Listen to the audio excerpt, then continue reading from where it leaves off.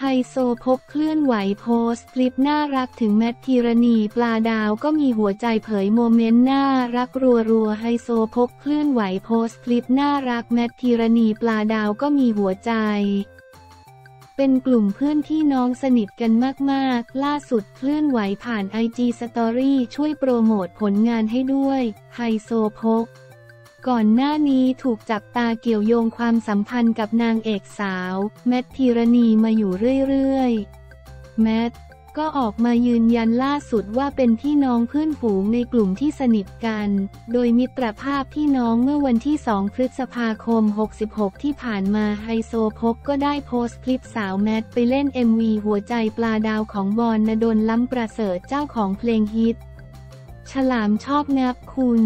ล่าสุดมีผลงานใหม่บอล นดล feat. F. ฮีโร่เนื้อหาเพลงเป็นเรื่องราวของปลาดาว ก็มีหัวใจเปรียบเทียบปลาดาวกับเรื่องราวความรัก เจอเธอสองใจตัดเท่าไหร่ก็งอกใหม่ไม่มีทางตัดใจด้านแมท ภีรนีย์ ก็โพสต์ภาพตัวเองโมเมนต์สวยๆ ใน MV พร้อมข้อความว่า ฝาก MV เพลง หัวใจปลาดาว ของพี่แอดบอล นดลด้วยนะคะ ปั๊มวิวเลยจุ๊บพร้อมทั้งโพสต์คลิปเช่นเดียวกันลง IG Story เป็นเพลงน่ารักทั้งจังหวะและเนื้อหา แถมแมทร่วมเล่น MV ด้วยมีโมเมนต์น่ารักเรียกว่างานนี้แฟนๆถูกใจเพลงติดหูอีกแล้ว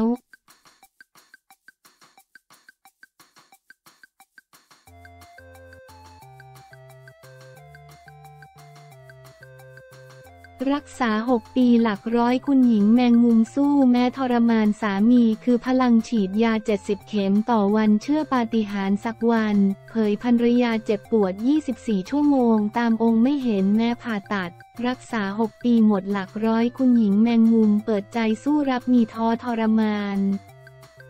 สามีคือพลังต้องฉีดยาระงับวันละ 70 เข็ม เชื่อสักวันมีปาฏิหาริย์มดดำคชาพา มีโอกาสพาเพื่อนสนิทมาเปิดใจในรายการแฉครั้งแรกหลังป่วยรักษาตัว 6 ปี คุณหญิงแมงมุมหม่อมราชวงศ์ศรีคำรุ้งยุคน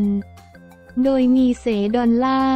พลตรีพัชรรัตกุลสามีคอยดูแลเคียงข้างมาตลอดถามว่าไม่คิดว่าวันหนึ่งจะมองไม่เห็น คุณหญิงแมงมุมตอบว่าใช่ใครจะไปคิดตอนเด็กเราก็ใช้ชีวิตกันมันมากเลยเนาะ อยู่กับพี่มดดำทุกวันกินข้าวเย็นแล้วก็เที่ยว 6 ปีแล้วที่ต้องเข้าเข้าออกออกโรงพยาบาล เสดอลล่ายอมรับว่า 90%ส่วนตัวเองทำงานออนไลน์ไปประชุมบ้างต้องให้เวลาเขาเยอะมาก เพราะสถานภาพเปลี่ยนไปเยอะ ตั้งใจอยู่กับเขาให้มาก คนชื่นชมเป็นสุดยอดผู้ชาย สามีคุณหญิงแมงมุมตอบว่าหลายๆ คนก็ทำแบบนี้แหละภรรยาสุดซึ้งจับมือสามีแน่น แมงมุมอยู่ที่ไหนพี่อยู่ที่นั่นสามปีแรกที่นอนเตียงพักมดด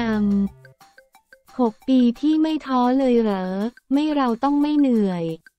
เห็นเขาอยู่สภาพแบบนี้เราต้องลืมตัวเองหลักเท่าไหร่ แล้วในการรักษาไปทั้งหมด เสดอลล่าตอบว่าเยอะมากๆ มดดำ หลักร้อย น่าจะได้เริ่มจากปี 61 เขาเส้นเลือดตีบในสมองเป็นสโตรกมกราคม 2561 ถึงปัจจุบัน เขาเป็น SLE อยู่แล้วตั้งแต่อายุ 18 ก่อนหน้านั้นเขาก็เข้าเข้าออกออกโรงพยาบาลอยู่แล้ว ปีหนึ่ง5-6 ครั้งอย่างมาก อปี 61 หลังเป็นสโตรกก็ลงเหวมาเรื่อย ต้องฟอกไตทุกสองวัน ลุ้นหัวใจจะหยุดเต้นเมื่อไหร่เสดอลล่าเผยเป็นภาวะซับซ้อนแมงมุมร่างกายเป็นทั้ง SLE ทั้งเส้นเลือดอักเสบมีประวัติเส้นเลือดสมองตีบไตวายโรคเขาเยอะหลายครั้งที่เขาไปแล้วพี่บอกไปไม่ได้ ต้องเอากลับมาเสดอลล่ากล่าวว่ามันไม่เชิงอย่างนั้น เพราะในที่สุดพี่ก็ต้องให้เขาตัดสินใจเอง ว่าเขาอยากไปหรืออยากอยู่แต่เวลานั้นพี่คิดว่าสมองเขายังดี ทุกอย่างเขายังดีใจเขายังสู้ท้ายที่สุดอยู่ที่เขา มดดำพี่ก็จะบอกเขาเดี๋ยวมันก็ดีขึ้น เราต้องไม่ยอมแพ้ถามแมงมุม ก็ยังสู้คุณแมงมุมตอบว่าสู้แต่ถามมีท้อไหมมีพี่มดดำบางทีมันเหนื่อยป่วยอีกแล้วเหรอ ต้องทำอันนี้อีกแล้วทำอันนั้นอีกแล้วเหนื่อยด้วยเจ็บตัวด้วยเสดอลล่าบอกอีกว่าเขาจะเจ็บปวด 24 ชั่วโมง ถ้าเขาลืมตาตื่น เขาจะเป็นโรคปวดหัวเรื้อรัง ปวดท้องเรื้อรังเป็นปี ๆ แล้วเขาต้องใช้ยาระงับความปวดวันหนึ่ง เขาต้องฉีดยา 50-70 เข็ม เขาถึงบอกเขาทรมาน มดดำ จะหลับทีต้องใช้ยา คุณแมงมุมเผยกึ่งกึ่งยาสลบเสดอนล่ากล่าวว่าถ้ายาแก้ปวดเอาไม่อยู่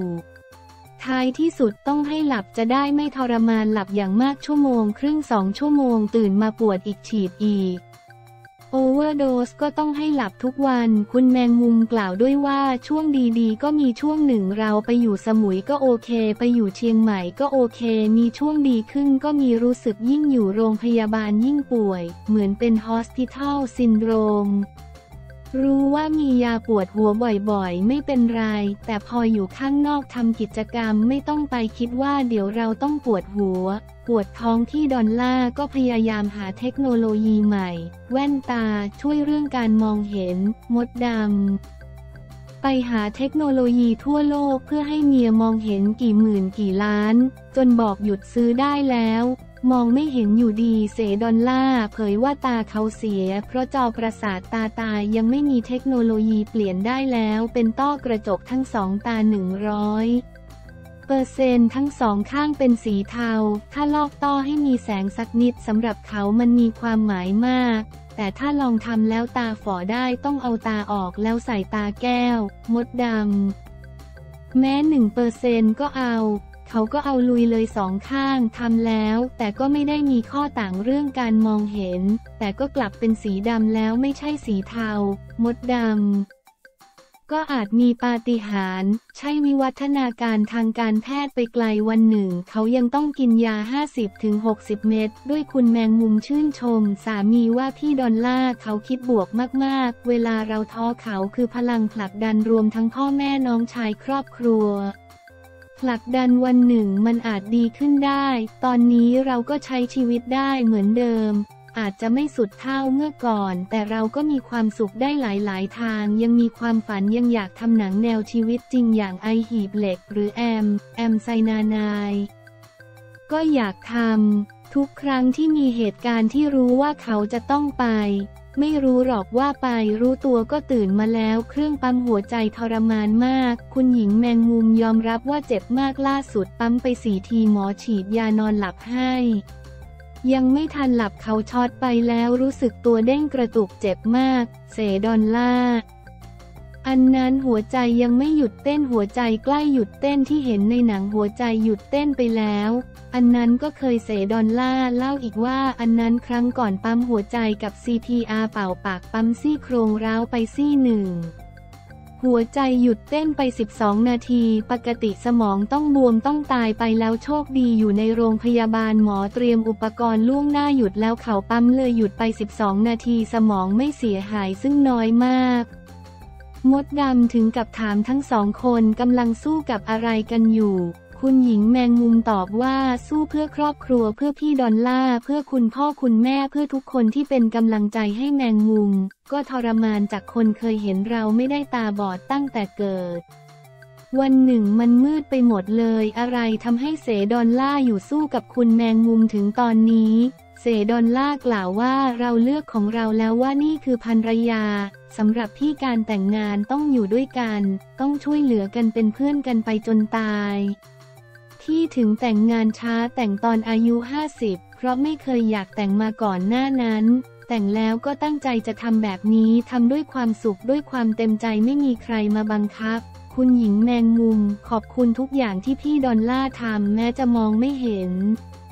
แต่รู้สึกได้ถึงความรักความใส่ใจความเข้มแข็งที่เขาให้แมงมุม ถ้าไม่มีพี่ดอลล่าป่านนี้คงแย่มากไปกว่านี้แล้ว